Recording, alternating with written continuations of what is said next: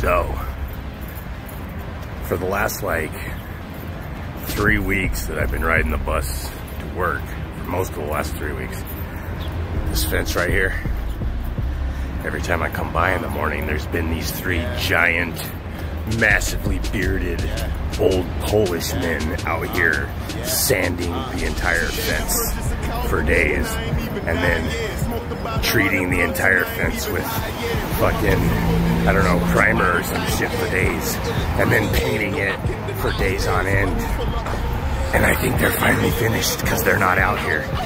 But the, the moral of this story, the point of the story is, I don't think a lot of people knew this and I didn't find out until I came across these three massive, massively bearded Polish men.